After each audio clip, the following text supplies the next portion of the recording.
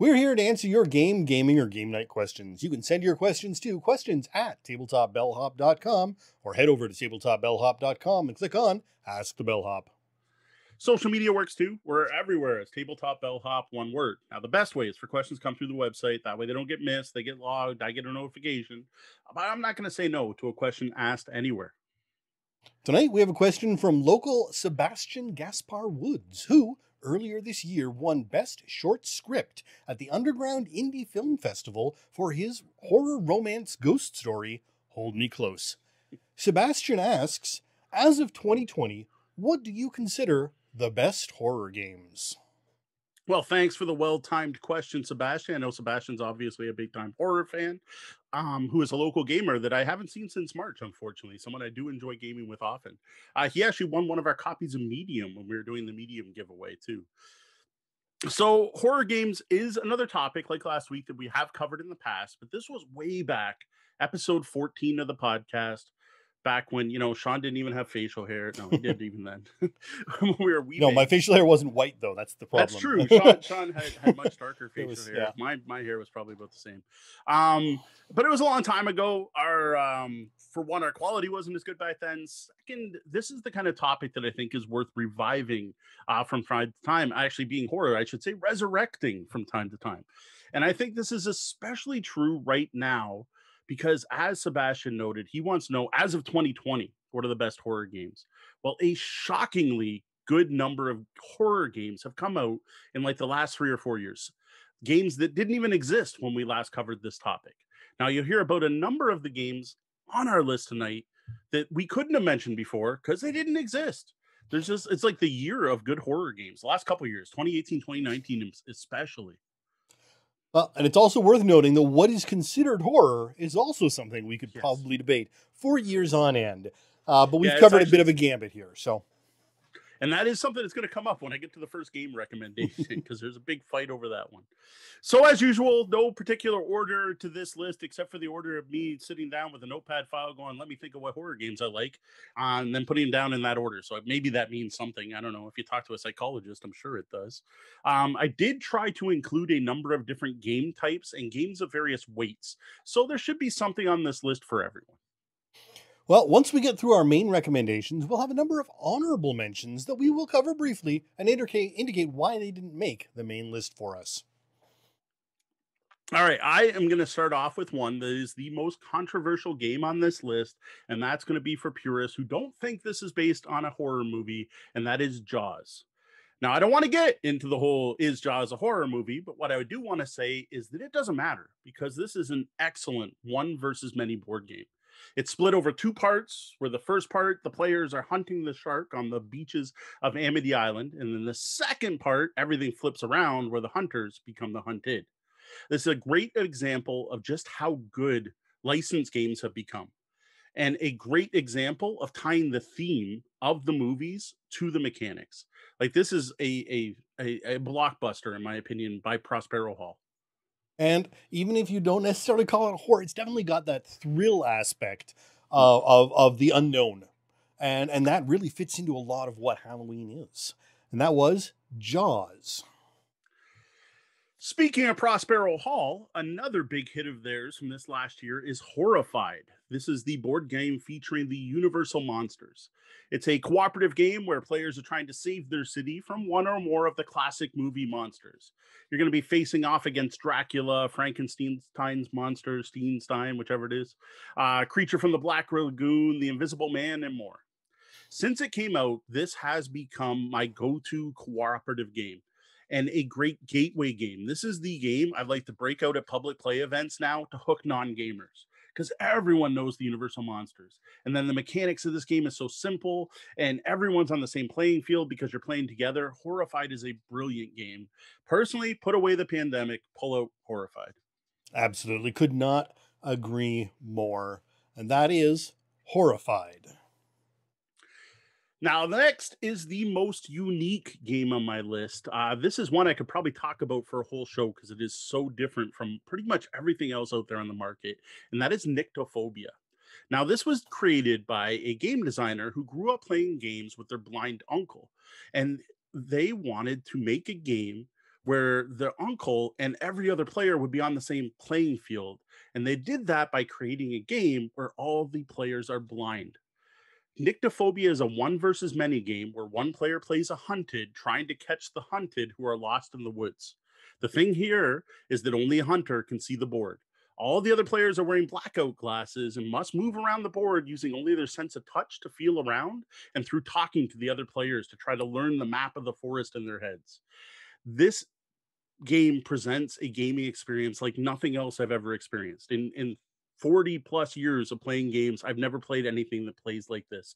This is a totally unique game that is going to evoke feelings that you just can't get any other way. It's the same way like Dread revolutionized horror role playing by adding actual tension. Like this, you get jump scares, you get the the listening and the tension and all of the horror that you can't just get from a standard board game card game rolling dice.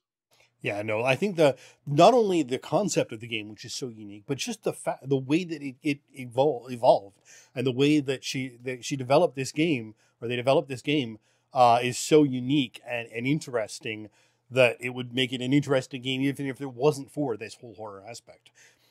And that is Nyctophobia. Next, I've got Exit the Haunted Roller Coaster. Now, besides being the perfect gateway to the Exit series, and I still say that, and until they come up with a new one, I think I'll be saying that for some time. If you've never played an Exit game, start with the Haunted Roller Coaster. The theme in this one is perfect for Halloween. It's that perfect mix of spooky and silly, where you have ghosts and zombies and creepy crawlies. It's it's that all-encompassing Halloween creepiness. There are other with horror themes. One we're going to be reviewing later tonight. This one is the most accessible of them all, and it's the one that I think fits the Halloween theme the best. Yeah, no, absolutely, and I and I, I love the fact that it's it's not a true horror as much as it is the family Halloween experience, right? Yeah. It's got something for everyone in the Halloween spirit and not just uh, let's see if we can freak people out. And that is Exit the Haunted Roller Coaster from Thames and Kosmos. All right, this is my strongest recommendation on the list for families. If you have kids and you are looking for something to do on Halloween or around Halloween, or if you're being responsible and staying home and not having to go door to door and possibly spread viruses, I recommend strongly Scooby Doo Escape from the Haunted Mansion from the Op. Now, I mentioned this in our review last week. We are looking at Scooby Doo Escape from the Haunted Mansion, not Betrayal at the something something version of Betrayal House in the Hill. Um, that also has mansion in it. This is a pizza box style game. This is a escape room in a box style game. It's a combination of puzzle based escape room and murder mystery tied together using the brilliant coded chronicles system from the bamboozle brothers. My family loved this game. Like my kids yesterday we were playing the exit game and my youngest came up and was like can we play another mystery game? Can we play another mystery game? Like they were 100% sold on this game. They absolutely loved it. This is some of the best gaming experience we've had together as a family was playing the scooby-doo game. Yeah no i don't think we can say enough about the coded chronicles system that they have come up with and uh well we will be saying some more about it but yes, it's uh it is it is a system and this is just the first attempt at using it uh, and I have to say, they hit it out of the park with Scooby Doo Escape from the Haunted Mansion. Next, we got the most expensive game on the list the big fantasy flight, big box, lots of miniatures, tons of tokens, three rule books.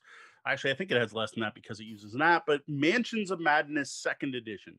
This is a uh, mythos themed game this is perfect for anyone who's into the whole Cthulhu mythos, elder god type of thing, and for people who like mysteries and puzzles.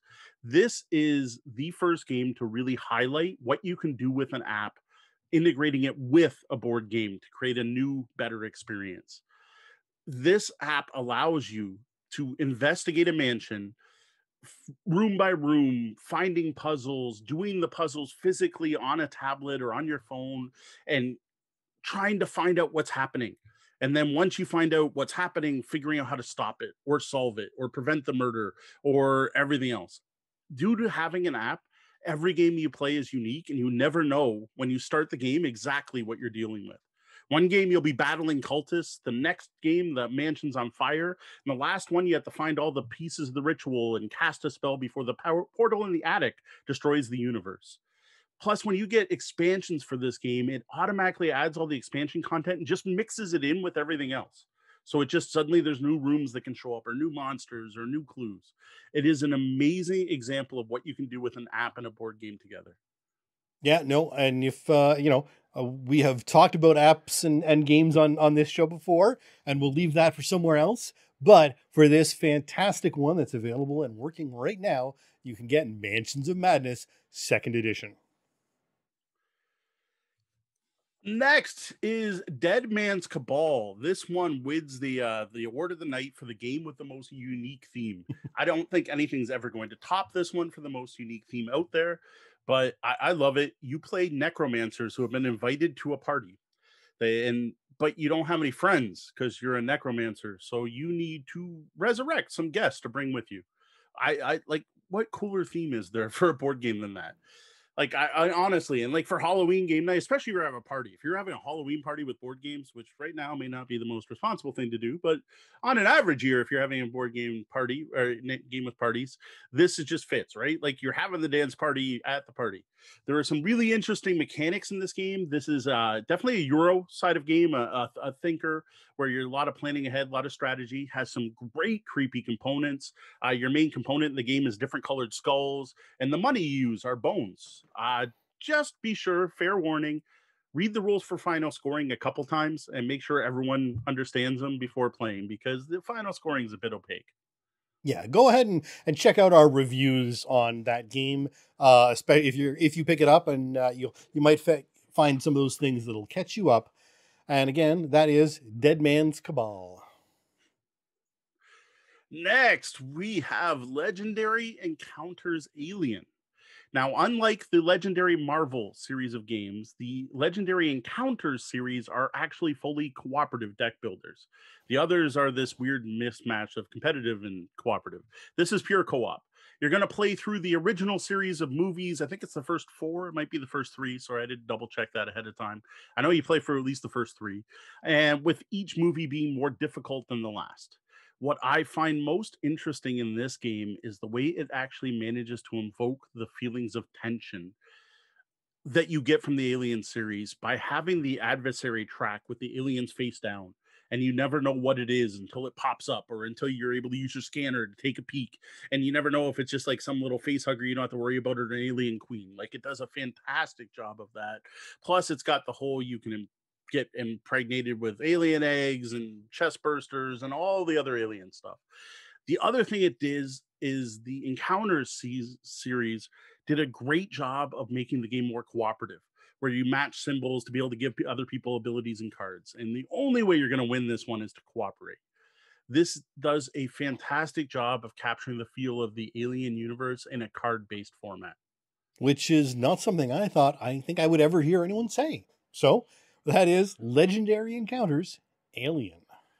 One of the that's that needs to add to the list of games for you to try when you're down in Windsor. Because I know. Yeah, I've still never done any of the legendary enc- encounters. Uh, you know, we made that decision early on. The DC yeah. was the way we were going to go with my uh, for my son, and uh, I've just never ended up touching the legendary encounters yet. All right, Tragedy Looper. This is an, an anime inspired one versus many game that is really unique and a little hard to describe. So I'm going to do the best I can. Um, this this almost is more unique than Dead Man's Cabal, but you can't beat Necromancer Dance Party.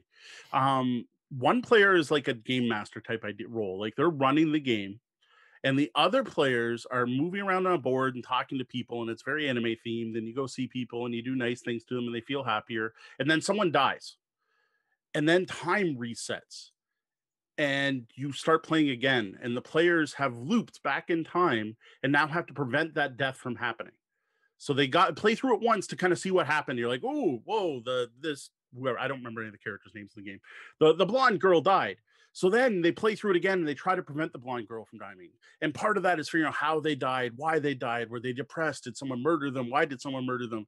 And then they start playing through and they're talking to people and trying to and they die again. And then time resets. And you keep trying to do that until they eventually solve the puzzle. It is one of the most mechanically unique games I've seen. I will admit, though, it is not easy to learn the tutorial takes a full two to two and a half hour gameplay just to get and there is a lot for the game master role which i can't remember what's called to focus on and it's actually a player versus player like the game master is trying to prevent the players from preventing the murder like it's it is a unique game I, i'm sorry i probably didn't do it the best service there trying to describe it but what a unique experience so it's mastermind is their term for the the game master. Uh, mastermind versus one to three protagonists. Uh, and you can sort of think of it as a mystery version of Groundhog Day in yeah. anime form. Yeah. Uh, and that is Tragedy Looper.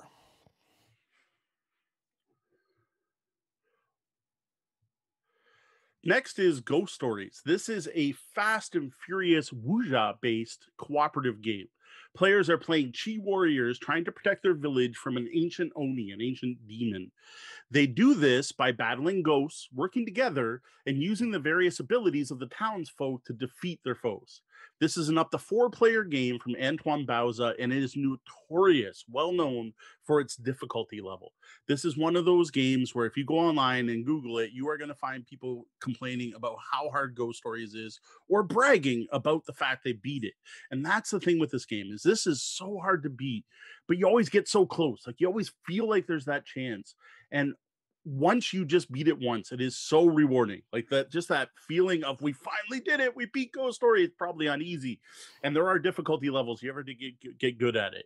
It's combined with a variable board layout. Like the town is a three by three grid, and you can rearrange which buildings are where. The enemy monsters spawn through card play, so every game they're going to spawn in a different order in different places. And then the Oni, there's like eight different types of Oni in this game.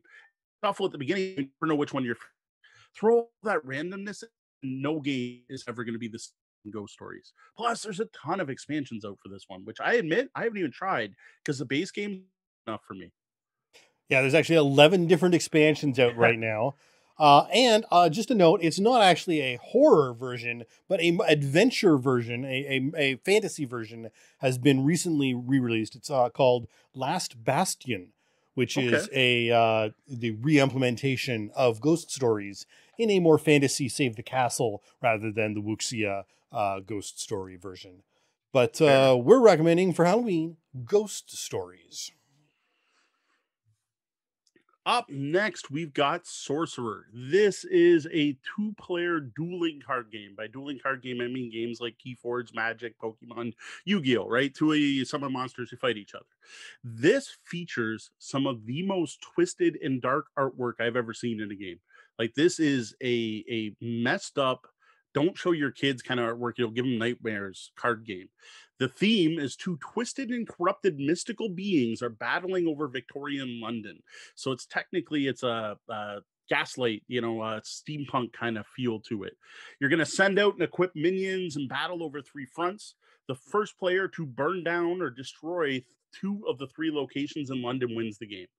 This game features a really unique deck mashing mechanic where you build your character by picking three different things your character's name, your domain and your lineage and then you mash those three different decks together to get your deck to play with.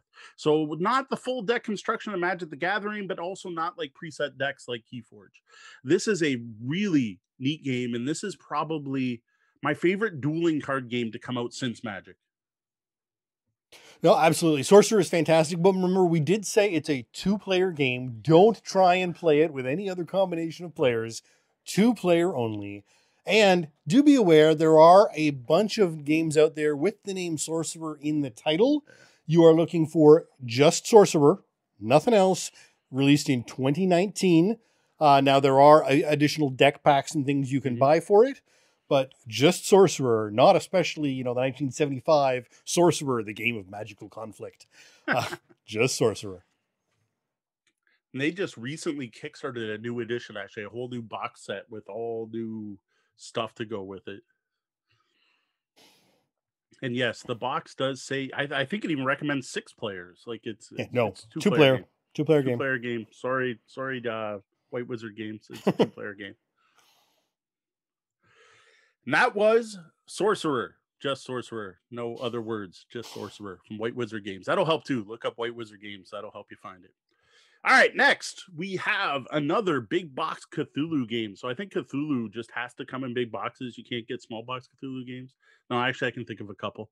There's there's a list for us the best big box and small box Cthulhu games. But another big one, kind of like Mansions of Madness. This is Cthulhu Death May Die instead of Fantasy Flight. This one's coming from Cool Mini or not. Um, if you kickstarted this, you have the largest miniature ever made for a board game, which is the like three and a half foot tall Cthulhu miniature that actually works as the end board of the game. Um, I'm not lucky enough to have done that, or I didn't have the money to do that. I don't know if there's luck involved or not. Um, this is a very different take on the Cthulhu mythos. This is uh, two fisted dice chucking Cthulhu, where you play through set scenarios where your investigators are first trying to make a great old one appear corporeal and then kick its butt.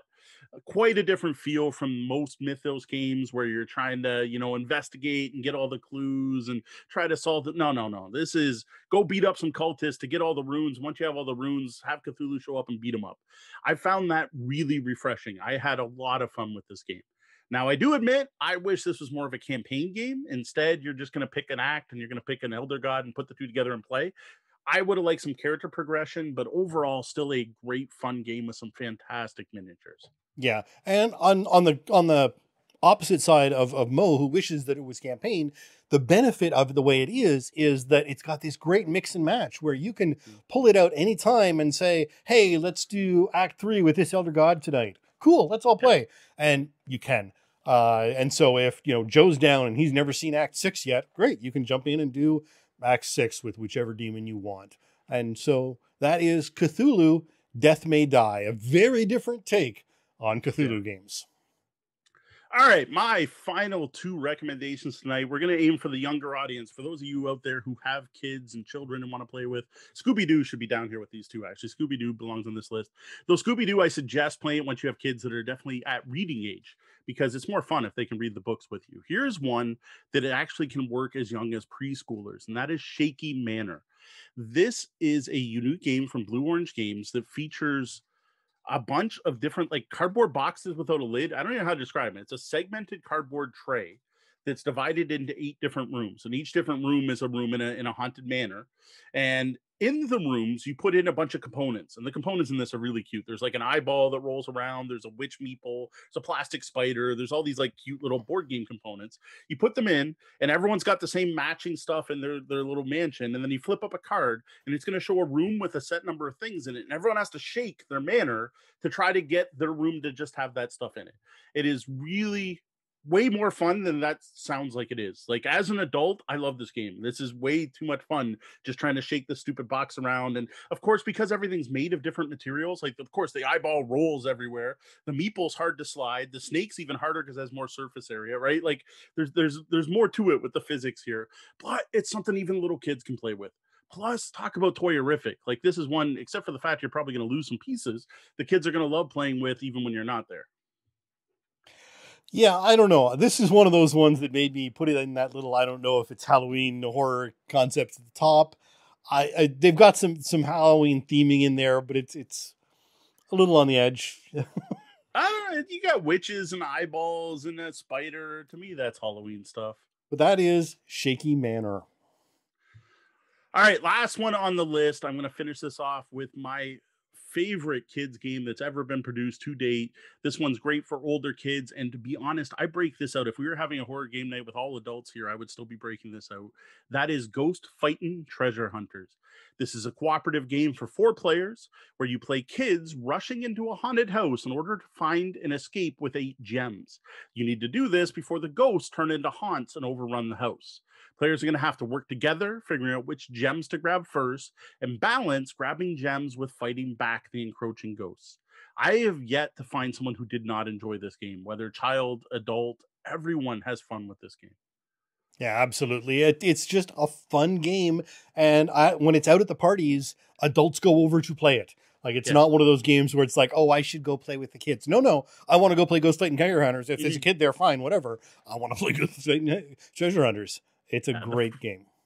First time we played this was at a New Year's party because we had given it to uh, Big G for Christmas, I think it was, and she broke it out, and we were all playing it. it was a way for her to take part on New Year's, and then when she went to bed, the game stayed out and kept being played till three in the morning. That was about five hours after my daughter went to bed. People were still playing Ghostbusters, uh, Ghostbusters, sorry, Ghost Fighting Treasure Hunters. It is worth noting. People have uh, are talking about in the chat here is there is a Ghostbusters Protect the Barrier variant of that that. It is significantly cheaper. Does have a cooler theme. Note it is the female Ghostbusters, the new ones, not the old ones. But the production quality is poor, to be polite. It is a smaller board. The cards are paper thin. The miniatures are not well done. I have heard, I haven't tried this myself. I've heard from many people just get the full version. Like if you want, go get some Ghostbuster action figures or something to replace your kids. But the Ghostbuster version is not worth picking up. Well, and that is Ghost Fighting Treasure Hunters. All right, up next, we have some honorable mentions. Um, I'm not going to get into as much detail about each of these, except to ma- note mainly why they didn't make the list. So, uh, number one, um, there's a big discussion going on about this one on Facebook right now because of a picture I shared today, and that is Zombicide. The Zombicide series of games are hugely popular, cool mini or not. I would go so far as say overproduced miniature filled games. These are the games where they come with like 126 figures and you get Stephen Hawking's miniature and like it, it's just crazy the amount of minis and characters and expansions for these games. There are a lot of people out there that love these series. Um, I've tried a couple of them. I played Invader and Black Plague and I found them to be fun but repetitive. They weren't great. Uh, it's the same problem I found with Cthulhu Death May Die. There is no campaign play. It's sit down and play the adventure and you go to the next part and you start over again. And you even like the first mission of invaders you find the super weapon but then you don't have it mission two. That just bothered me. Um it's definitely a neat co-op kind of puzzle game but not for me. There are people out there that love them so i did want to throw it on here for fans of the series. There are a lot of people who like zombicide. Yeah they are. In in fact uh simon was joking that uh, the other day someone had asked about uh, some some halloween games and uh, Simon had Zombicide on their list twice uh, because it was that good. Um, go. And I, am going to actually slip one in here as well. And I, this is going to be an honorable mention because I know you don't have it, so you haven't played it yet. Yep. But the Halloween expansion for King of Tokyo would be right up your oh. girl's oh. alley. Yeah, I just uh, we don't play King of Tokyo that often. That's the problem. We don't that that's a we have to have more people. I don't like King of Tokyo four or three player. It's right. okay. Uh, to me, you need like the five or six. You need right. a big group, and we just don't get a big group often enough. But yeah, it is a cool expansion. And if you want to talk about cool low cost expansions that are just neat for Halloween, the pumpkin trains for Ticket to Ride. That is one of the neatest, cute expansions. All it is is replacement trains, and actually has for Ticket to Ride Europe. It also has the stations for it. You get little pumpkin trains and little stations that you can replace your playing pieces for for Ticket to Ride. So there's there's another that's a neat quick pickup to turn one of your existing games into a Halloween game. There we go. And so that was uh, King of Tokyo, the Halloween expansion, and uh, the pumpkin expansion for Ticket to Ride, which I, I'm sure has a specific name. We actually, I think we might we might be able to give away a copy of the pumpkin expansion. Maybe that's what we give away next week. We were Maybe. talking about giving away a game during our Halloween AMA. Maybe we'll give away the pumpkin expansion if we have some left. So next, I have I would grab it. It's almost in reach. Uh, we were talking about the Coded Chronicles games earlier tonight. I have the next game in that series uh, sitting here from the op. This isn't published yet. I'm getting to get an early look at it, and that is The Shining: Escape from the Overlook Hotel. Now, I don't know what it is with Coded Chronicles coming out with the same name as other games because there's already a The Shining board game for Prospero Hall. This is not that. This is The Shining Escape from the Overlook Hotel. The escape, I think, is going to be the key word here. This is the second Coded Chronicles game that started with Scooby Doo. Um, based on how much we love Scooby Doo, I expect to dig The Shining. The only reason it's not on the list is we haven't actually had a chance to sit down and play it, but I think it'll be on there. No, this one's not going to be family friendly. This will be just probably Deanna and I playing through this one. Yeah, no. And I, I actually had difficulty finding it on Board Game Geek, uh, probably in part because there isn't a lot of traffic to it yet. But if you just type in The Shining, this one doesn't actually always show up. Um, oh, so maybe uh, it's still in pre-release. And, and it, it's on Board Game Geek. I did find it. I did get I did get the box art I needed, But uh, until I typed in escape or, or really looked around, Hmm. it was hard to find. Um, unlike the Scooby Doo one, whereas if you type in Scooby Doo, the escape one comes is the first one that shows up on my list. So that is So yeah, it might be a little hard to find. yeah, that is The Shining Escape from the Overlook Hotel. All right, next is Arkham Horror the card game. This one I am tossing on the list because everyone else seems to love it. As usual, while doing these lists, I always take a bit of time to do some research. Usually, I make my list, then I go look around and see if there's anything I missed. And I got to admit, Ghost Fighting Treasure Hunters was one of those. I saw that and I was like, oh, there's a dull moment. Like, how did I miss that? It's my favorite kids game. One of the games that is on like every list, every list of top horror games has Arkham Horror the card game. Now, this is a cooperative living card game from Fantasy Flight Games. I haven't played it myself, so I couldn't tell you, but everyone else seems to love it. I tend to stay away from the living card games. Just too much money having to buy expansions that just keep coming out. Mm. And that is Arkham Horror, the card game. Finally, we have Warhammer Chaos in the Old World. This is one I do have, and I love. This is a great game. This is a super asymmetric game. One of the first games that really pushed asymmetry to the limit, where every player plays one of the different gods of chaos who are doing horrible things to the Warhammer world. What's brilliant here is the goal, the end game goal. What you are getting victory points for is completely different depending on which of the four chaos gods you play. Khorne, of course, you get god uh, things for killing people, and Tzeentch is for getting spells out and corrupting people, and Slaanesh is getting more people on the board. It's fantastic. The reason this one's not on the list is there's no one out there that's going to be able to find a copy of this for any price, any sane person to be willing to play.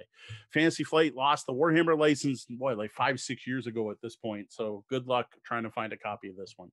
But it's going to be on here just because it's such a great game. So if you have a copy, break it out for Halloween. $180 US on uh, eBay. Is that used or new? Uh, that's opened. Yeah, I was gonna say that's that's low for Yeah. new. So uh, yeah, it's a it's a pricey one, and that is Warhammer Chaos in the Old World. Well, that's it for our Halloween horror-filled game recommendations. We're gonna head over to the lobby and see if anyone in our chat room has anything spooky to add to our list. All right, so we've got uh, Ryan's asking Cthulhu Wars. Is this that the same re- rule set?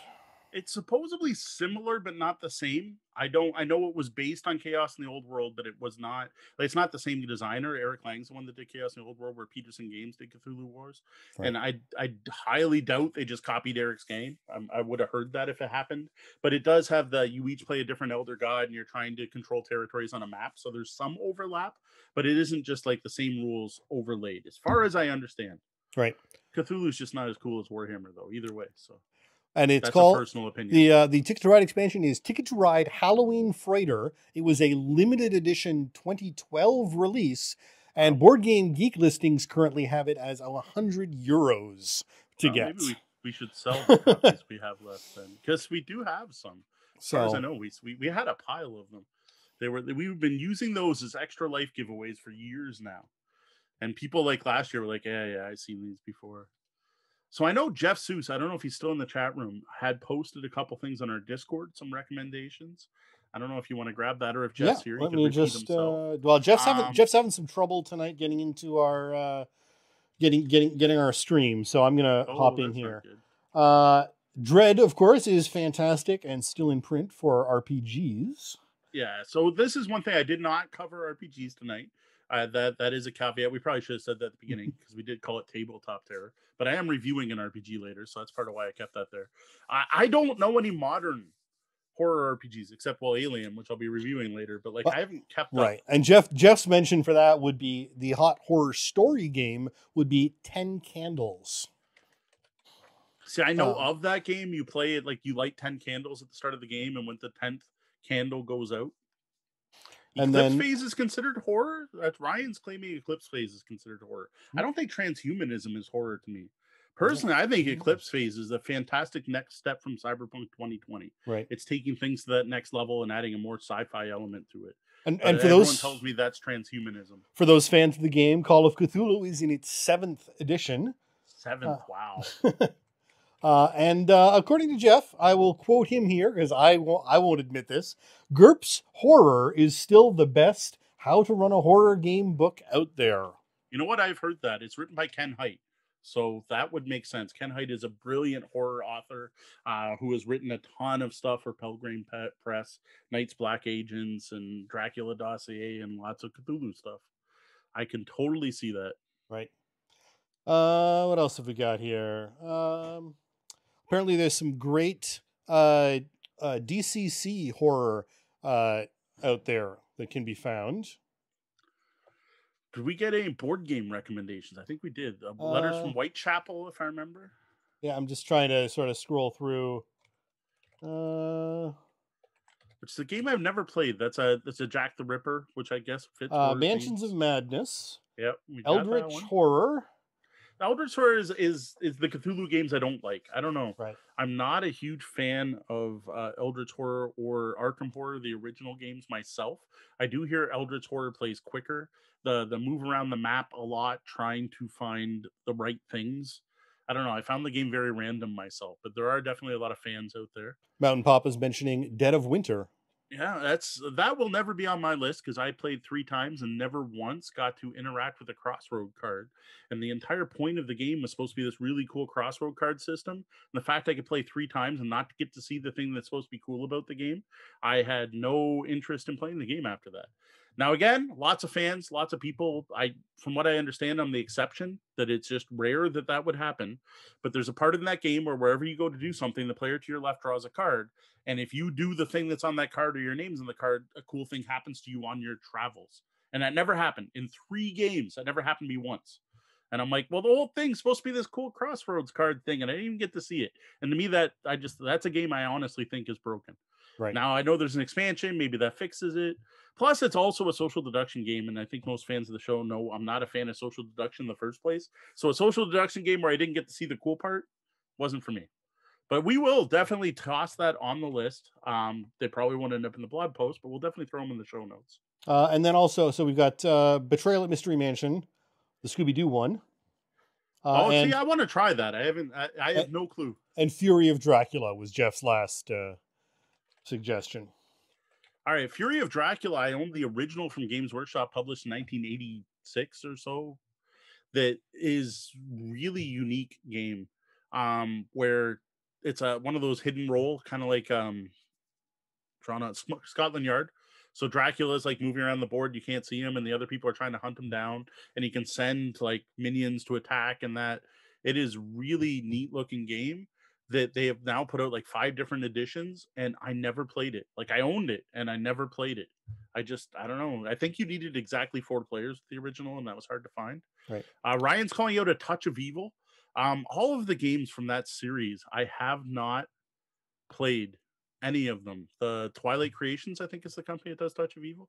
Uh, I have not tried it, or is that the Evil Hat one? Uh, Flying Frog Productions. Yeah, Flying Frog. Okay, it's a company that uses actors for all their artwork, and it just to me looks really silly. I know some people dig it, but like it's like people in cosplay for all their artwork, hmm. and I I don't know. I haven't tried any of them. I've heard good things, so unfortunately that couldn't be on my list. So I haven't tried it. Yeah, no, it's it's it's a choice. You know, they they they're doing their own photography, yes. obviously, and and yep. and it's a it's a choice. It's a but, dedicated choice, and they stuck yep. with it for all their games. Yep. Um, but I, I, I, think that I guess. Yeah, yeah, no, absolutely. Um, it gives it a certain feel. There's no doubt, about that. Oh, I guess one of their games, Conquest of Planet Earth, is all art. Oh, okay. Okay, all the ones I had seen have been like cosplayers. And there are a lot of um touch of a touch of evil. Like yes, yeah, like uh, what is the expansion list? Eleven expansions for a touch of evil. Um, although some of that apparently is yeah, some of that is soundtrack, so it's not actually Oh, okay. Yeah, that's the problem with Board Game Geek because you get like all the promos and stuff like that. Yeah, it's no, they're definitely popular. I watched one of them get played on um Wil Wheaton's tabletop, and it didn't look like my kind of game. Right. There are games I wouldn't put on the list specifically. Oh, and there was well, a 10 year anniversary edition of Touch of Evil, actually, yeah, that came out this year. Yeah. So. We owned one of their games that actually had a wind up zombie.